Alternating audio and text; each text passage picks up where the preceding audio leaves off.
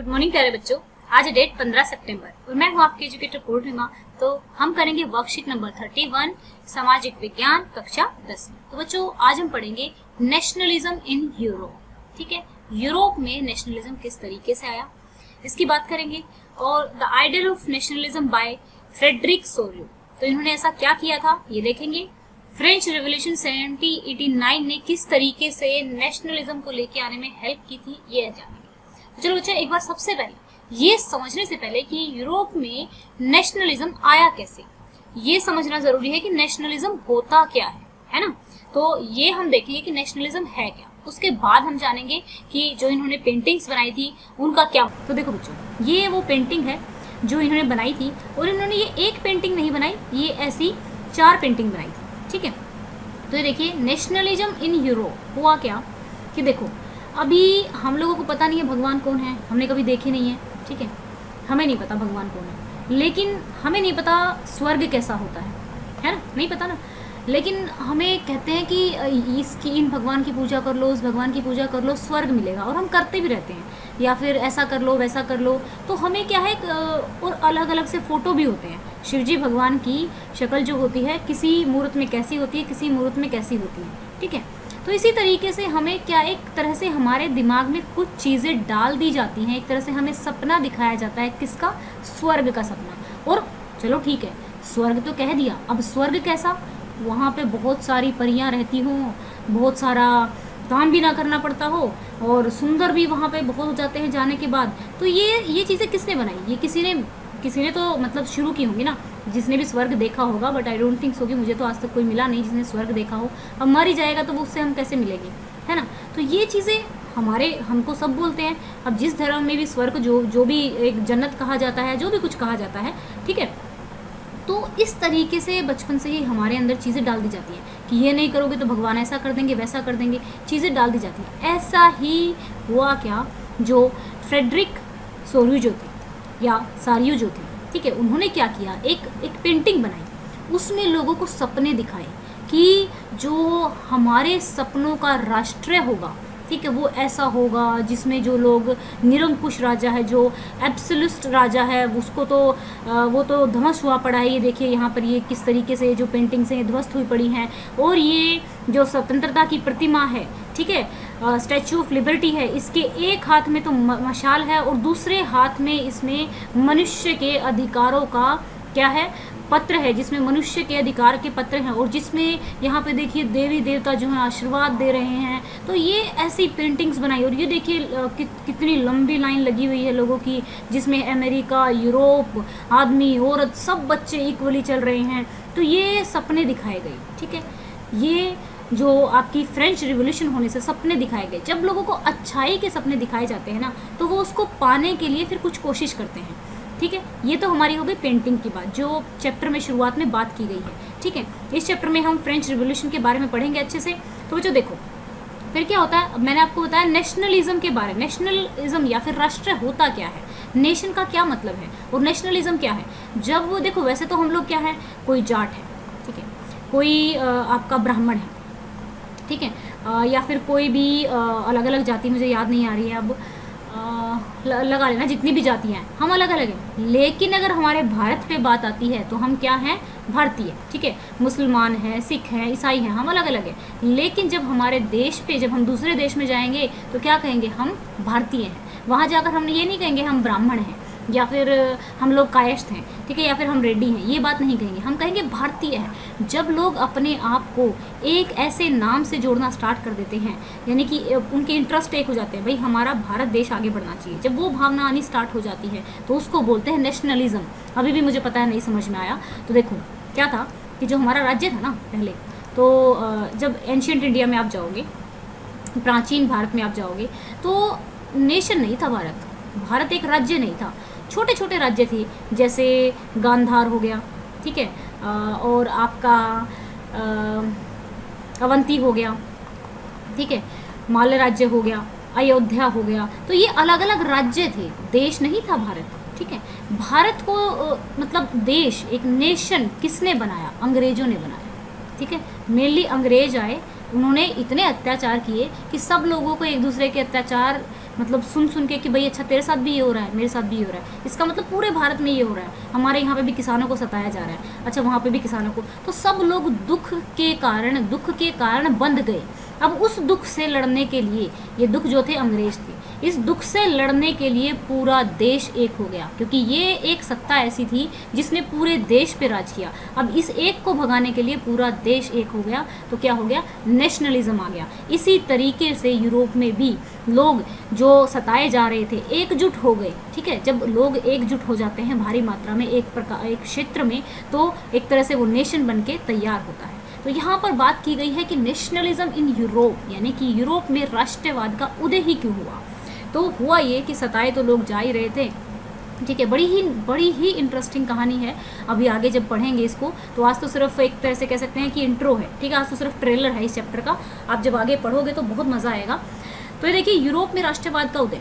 तो जो ये महाशय थे, फ्रेडरिक सरायु, कभी भी जो क्रांति आती है, ठीक है ना तो जो राइटर लोग होते हैं, जो बुद्धिजीवी लोग होते हैं, वो बातें बनाना स्टार्ट करते हैं। और जब बातें बनती हैं तो बातों को लोग फॉलो करना स्टार्ट करते हैं। अब जैसे मान लो सब लोग पूरे के पूरे जो बहुत अच्छे अच्छे लोग हैं बड़े बड़े लोग हैं, अगर हमें हमें बहुत अच्छे सपने दिखाने लग जाए, मान लो कोई एक्स वाई जेड पार्टी आएगी, ठीक है? और सारे के सारे जितने भी बुद्धिजीवी लोग हैं, कहेंगे कि ये वाली पार्टी तो इतनी मस्त है, ये तो पता नहीं देश में बिल्कुल सबको सोने से लाद देगी, सारे इंडियन के ऐसे बंगले होंगे, कार होगी, ठीक है, सबके पास बहुत पैसे होंगे। डेफिनेटली हम क्या करेंगे? जब इतना बुद्धिजीवी वर्ग कह रहा है कि भाई ये वाली पार्टी आके हमें बिल्कुल माला माल कर देगी तो हम तो इसी को वोट दे देंगे ना सारे के सारे।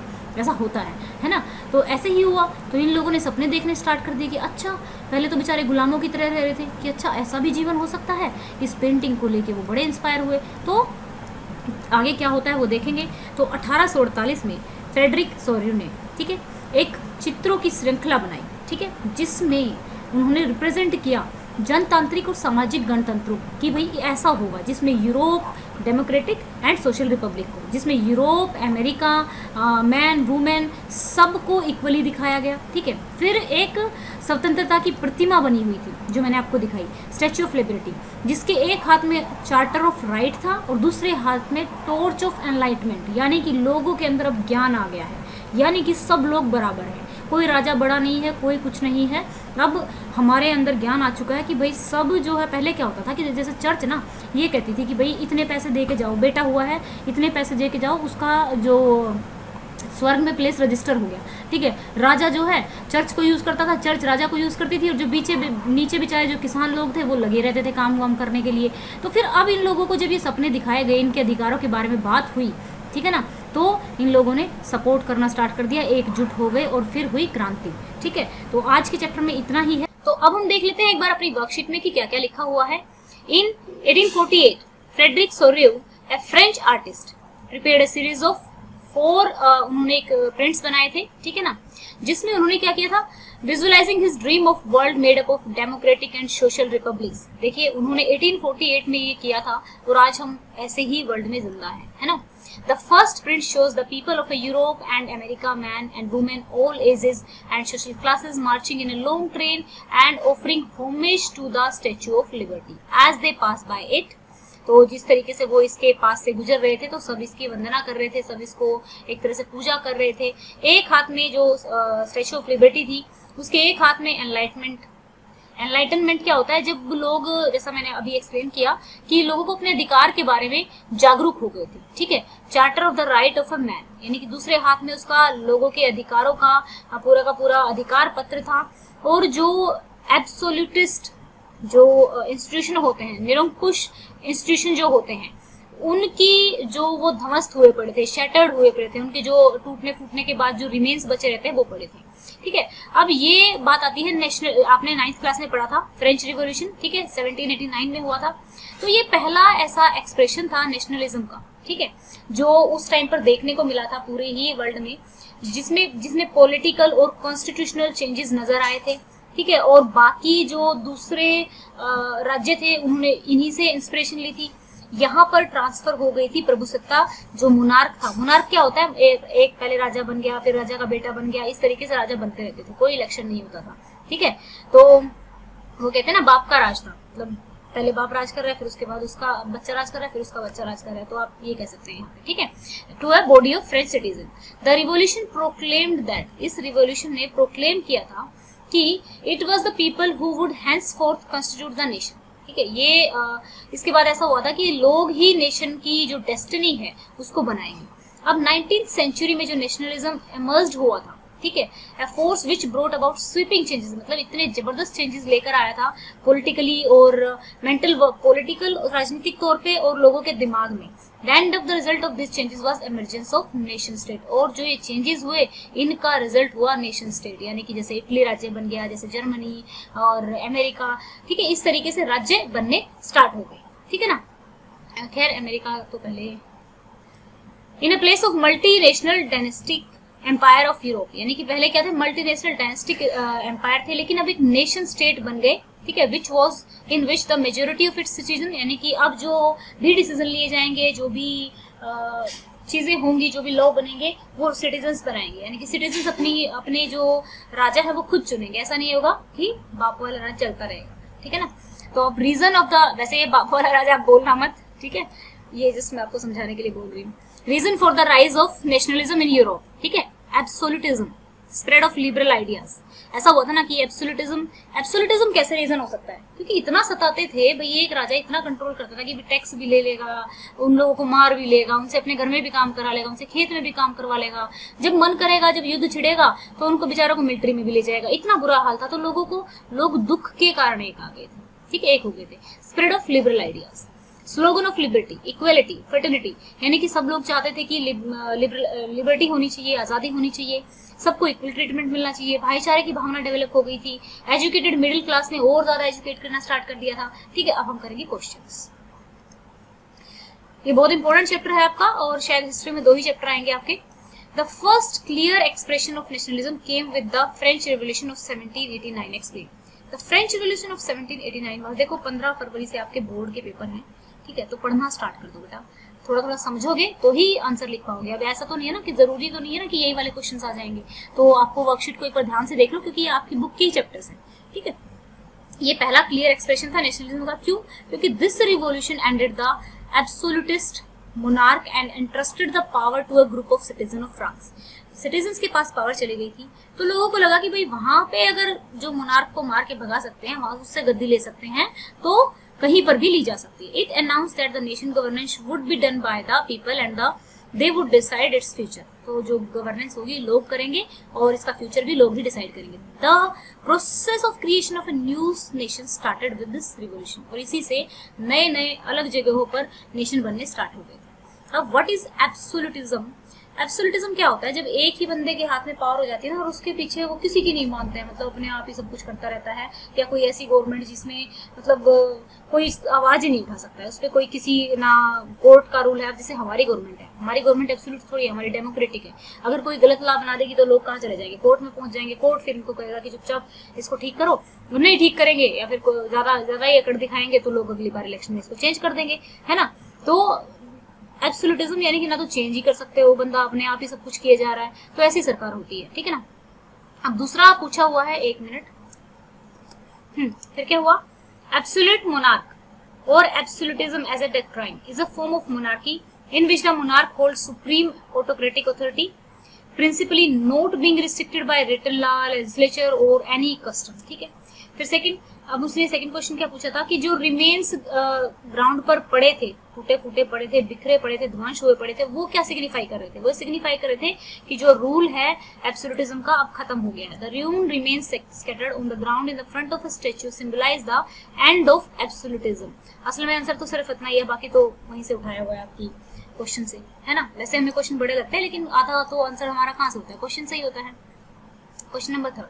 Mention the feature, uh, mention the nature of Europe nationalism 19th century. The nature of 19th century European nationalism क्या था एक नेशन की स्प्रिट जाग गई थी लोगों में एसेंस ऑफ़ शेयर आइडेंटिटी सब लोगों को एक शेयर आइडेंटिटी हो गई थी। हाँ भाई, हम भी इसी से सताए जा रहे हैं, तुम भी इसी से सताए जा रहे हो। चलो मिलकर लड़ते हैं इससे।